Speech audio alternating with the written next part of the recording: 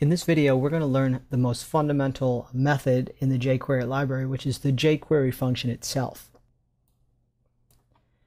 This file contains a div tag on the right, and what we'll ultimately be doing with this exercise is hiding that summary or div tag and then showing it again. I've opened the file exercise underscore one underscore two dot html from the chapter three getting started with jQuery directory. So the first thing you'll need to do is attach the script that we've downloaded in previous exercises to this file. So this is the script tag pointing to the JavaScript, which is the jQuery library. Before we invoke the jQuery method, we need to make sure that the document object model is ready to accept some of these commands. So we use the ready function to do this. So I'll come back to this in just a moment. So for now, place the call to the jQuery method, which is done via the dollar sign and we'll call the document ready function. So the real goal of this lesson is to understand the jQuery function itself. So to call the jQuery function, we use a dollar sign, inside of which we place parentheses. Inside the parentheses, we add what's known as a selector, or a jQuery selector. What we're trying to do now is query the document object model, or query our web page to locate a section or an element within that web page that we'd like to perform some action on. In this case, the element that we're looking for is the div tag whose ID is jQuery summary. And that's in order to go ahead and hide and show the summary. However, in order to do that, the user will have to click the buttons that we've provided right here, whose ID is show summary and hide summary. So the first thing we're going to acquire is these buttons so that we can indicate that when those buttons are clicked, some action should take place. So here again, we're using the jQuery method to locate something on the web page and then provide some sort of action with whatever it is that we've located.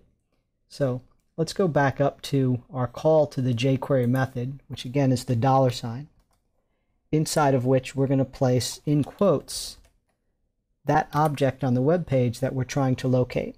So we'll start with the button that hides the div tag and its ID was hide summary.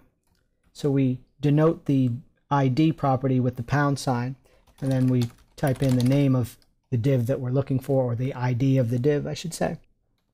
Now that we've located what we want, we can perform some sort of action on it. In this case, we want to respond to the click of this button. So whatever it is we'd like to take place when that button is clicked, we do by writing a function. So inside the parentheses of the click, we're going to go ahead and call a function. We're actually going to write this function right here.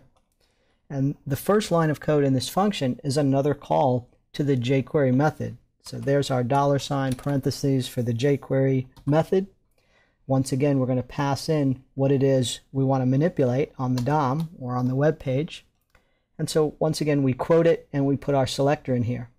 So the name of that div tag that we want to show and hide is a div whose ID is jQuery summary. So back up in our call to the jQuery method, we'll pass in that div, jQuery summary, and we'll invoke another method of the jQuery object.